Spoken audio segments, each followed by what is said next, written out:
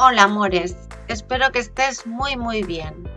Esta semana os traigo un top bikini porque tanto lo puedes utilizar para ir a la playa como para llevarlo debajo de cualquier prenda de verano calada, abierta, escotada, como más te guste. Y lo más importante, adaptarlo a cualquier talla de copa, de contorno, de tirantes, que ya sabes que esto es un poco difícil encontrarlo hecho. Si este vídeo te sirve, ya sabes, regálame ese me gusta que me gusta tanto. Compártelo en tus redes sociales. Y si todavía no la tienes, puedes descargarte esta guía donde te doy 7 consejos para disfrutar tejiendo. También te dejo el enlace para que te la puedas descargar en la descripción del vídeo y en la pantalla final. Pues vamos a trabajar. Estoy utilizando un hilo de algodón con un poquito de acrílico ¿eh? para que el secado sea más rápido, pero se puede tejer también en un algodón 100% o incluso en unos hilos que hay ahora que tienen un, un poquitín de elástico, ¿eh? muy poco, pero son un poco elásticos para estas prendas de baño o de interior que tengan que ser más cómodas. Y un ganchillo del 2,5 ¿eh? para que el tejido me quede apretadito. Esto requiere siempre de un trabajo un poco más apretado. Bien, pues voy a hacer 18 cadenetas. Esta no la cuento. 1, 2, 3, 6, 17 y 18. Estas tres cadenetas son el primer punto alto y voy a empezar en la cuarta haciendo el segundo punto alto.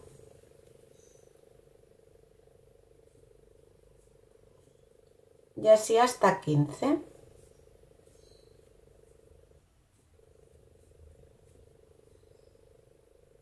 Este es el comienzo para cualquier talla y luego depende de las vueltas que demos para que nos quede más grande o más pequeño.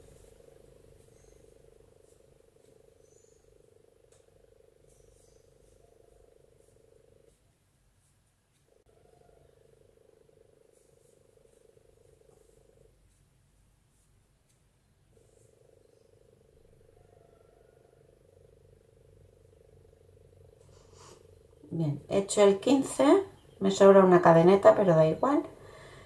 Y ahora vamos a tejer dos puntos de cadeneta y nos vamos a ir al otro lado a hacer los 15 de este otro lado. El primero lo voy a pinchar así para que no quede tan abierto.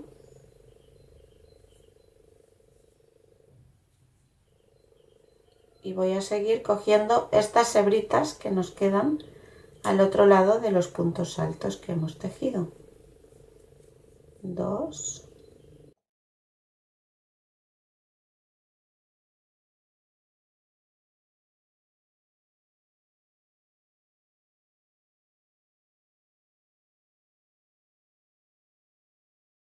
Y de esta forma nos queda así redondito de aquí.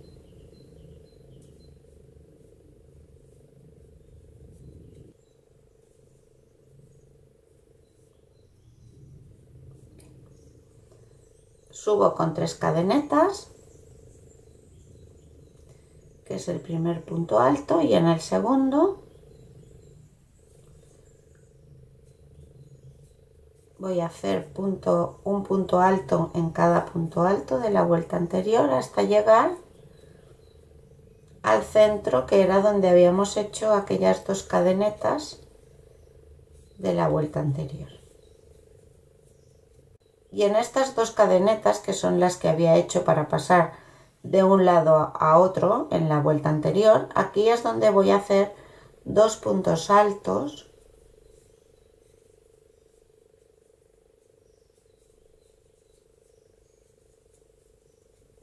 Dos cadenetas y dos puntos altos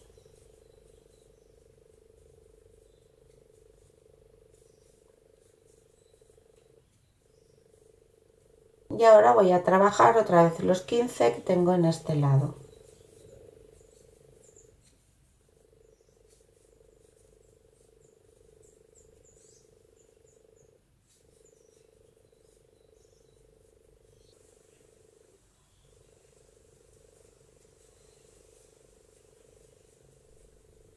Y el último.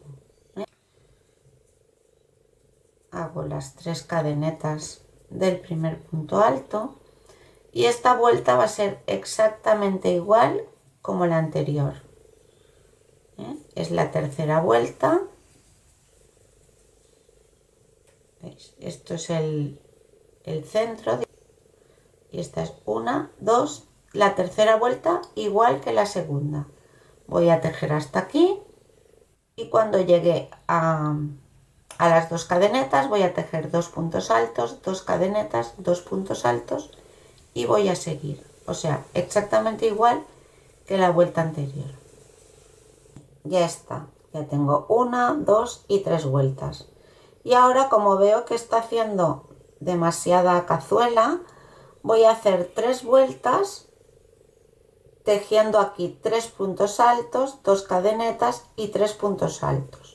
En esto es en lo que podéis jugar un poco según veáis porque dependerá del hilo y de la forma de trabajar, pues si veis que hace demasiada cazuela aumentáis un poco más y si veis que de aquí va haciendo como demasiado abanico, pues reducís un poco más.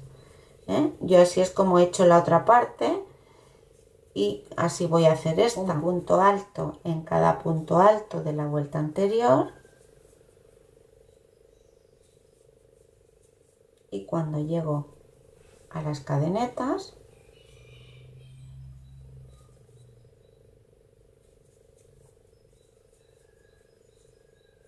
aquí tejo tres puntos altos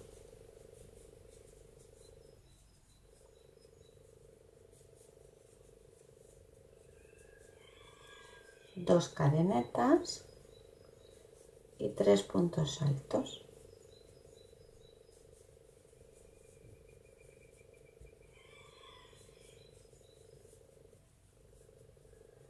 Pues ya he hecho estas tres vueltas con un aumento de tres, dos cadenetas y tres.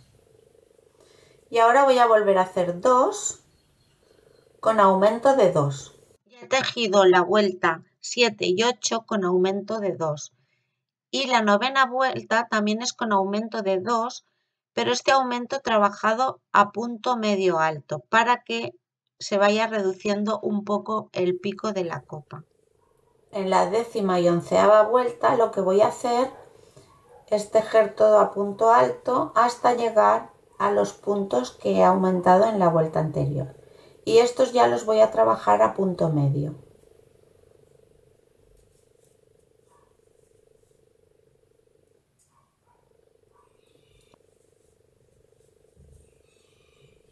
Dos y el aumento de dos.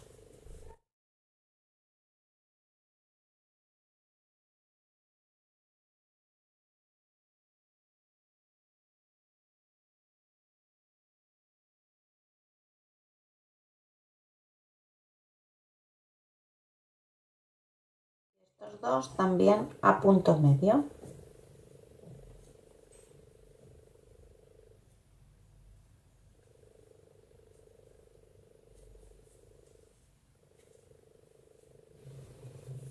En la vuelta número 12, que ya va a ser la última, vamos a hacer lo siguiente.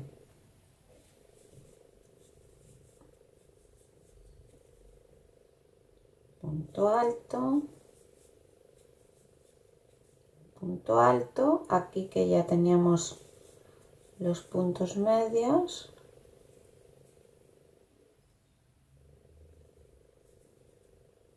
otro punto medio. Y aquí en estas dos cadenetas vamos a trabajar dos puntos medio altos ya sin aumentos ni nada. ¿Mm?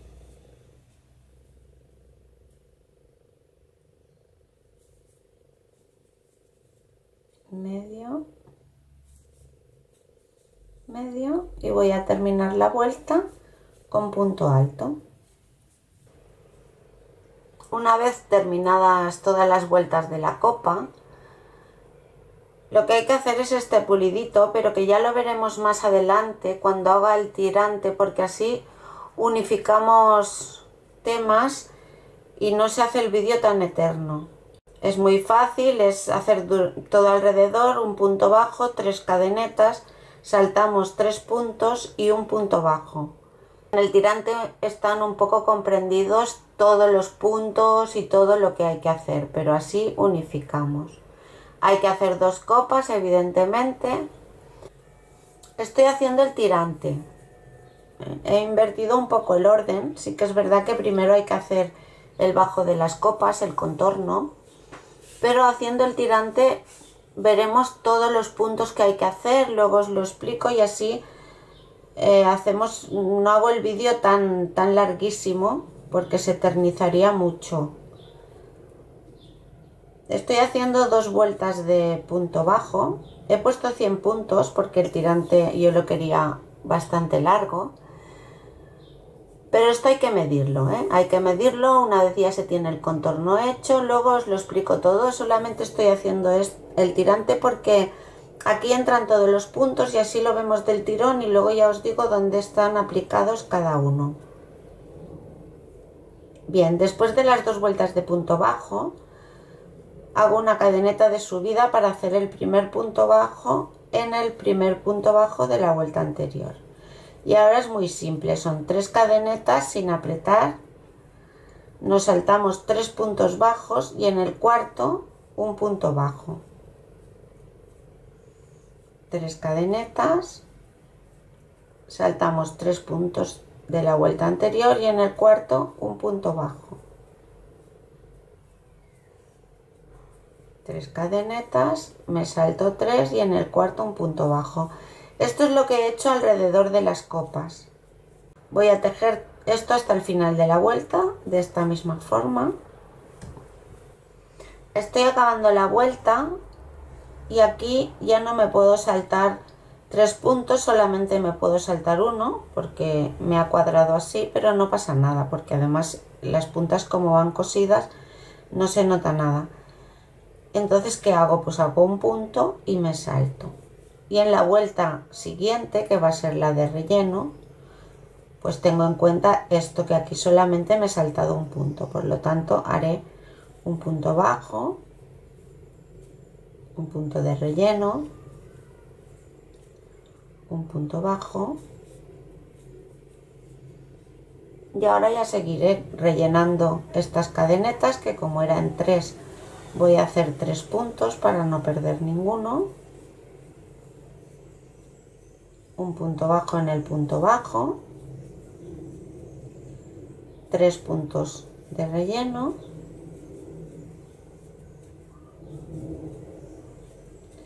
y así voy a seguir toda la vuelta. Tres puntos en las cadenetas y un punto bajo en el punto bajo.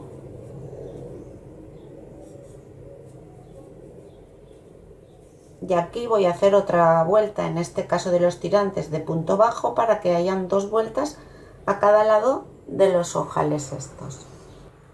Acabo las dos vueltas de punto bajo.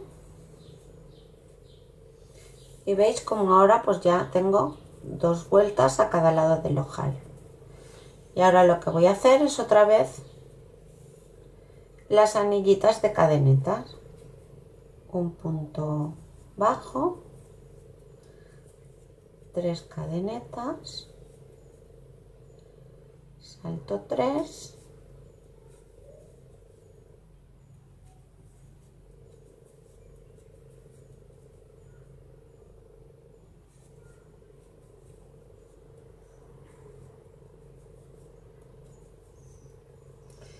esto voy a hacerlo todo alrededor del tirante ¿eh? igual que he hecho todo alrededor de las copas he hecho esto exactamente por eso os decía que viendo cómo se trabaja el tirante, pues ya tenemos todos los puntos que necesitamos para el top, menos el punto alto de las copas que ya hemos visto al principio.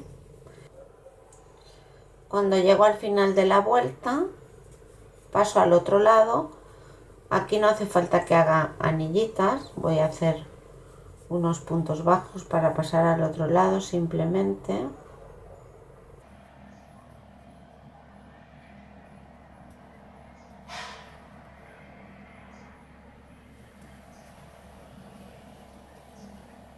así y empiezo por este lado.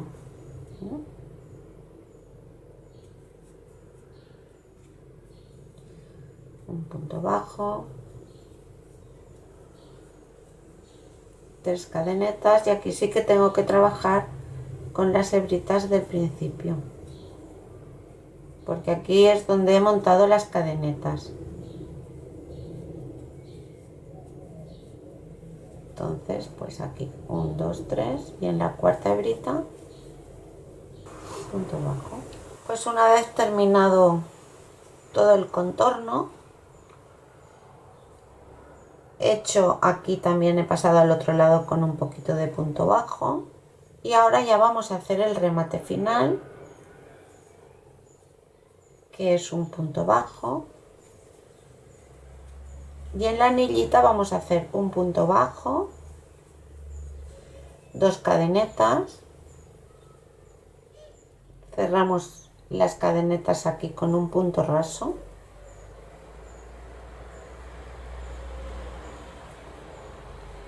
y otro punto bajo. El punto bajo de la vuelta anterior un punto bajo. Y otra vez un punto bajo dos cadenetas.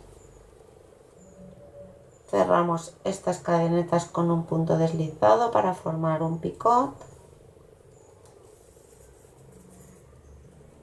Otro punto bajo en la anilla y un punto bajo encima del punto bajo de la vuelta anterior. Un punto bajo dos cadenetas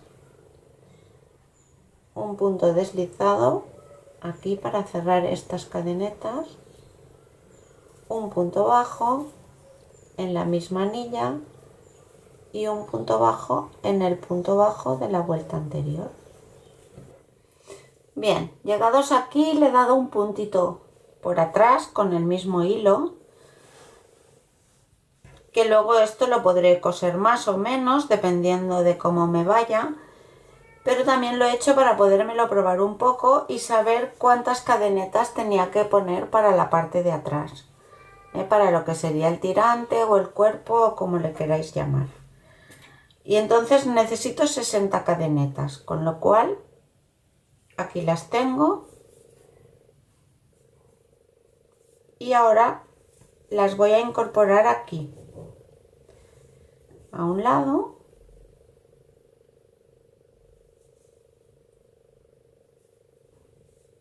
Voy a enganchar aquí con un punto bajo.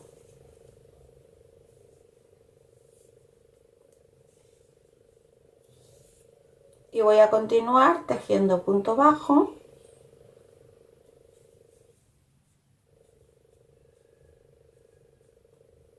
dos puntos bajos en cada punto alto de la vuelta anterior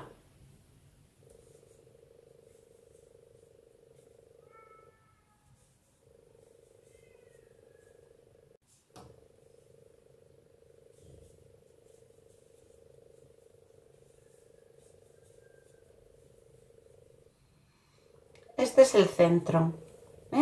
Entonces aquí voy a embeber un poco. En vez de dos voy a trabajar un punto.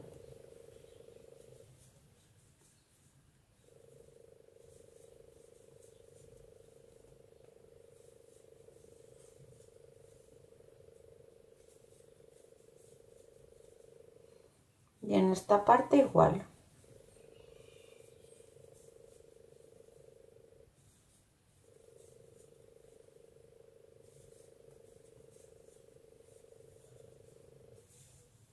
Solamente este trocito, ¿eh? para que no pierda la forma, sujete un poco más. Y aquí en este otro lado voy a hacer lo mismo, dos en cada punto alto y uno en el centro de la copa. Acabé este trozo, contaré los puntos que tengo para hacer el otro lado de la misma forma, que me queden los dos lados iguales. Cuando llego al final de la vuelta, pues vuelvo a hacer las mismas 60 cadenetas o las que sean necesarias que había hecho en el otro extremo. y de regreso voy a hacer toda una vuelta de punto bajo. Voy a trabajar a punto bajo estas 60 cadenetas, estos puntos de aquí y estas 60 cadenetas. Bien, pues una vez hemos aprendido los puntos haciendo el tirante, nos habíamos quedado aquí donde habíamos añadido los puntos de los laterales, lo que irá abrochado atrás. Habíamos hecho una vuelta de punto bajo. Yo en este caso he hecho tres, luego he hecho el caladito que hemos visto en el tirante, las tres cadenetas y el punto bajo, tres, otro caladito, tres, otra vez y he acabado con tres vueltas de punto bajo. Y por último, pues el mismo calado que habíamos hecho en los tirantes y los, los picots.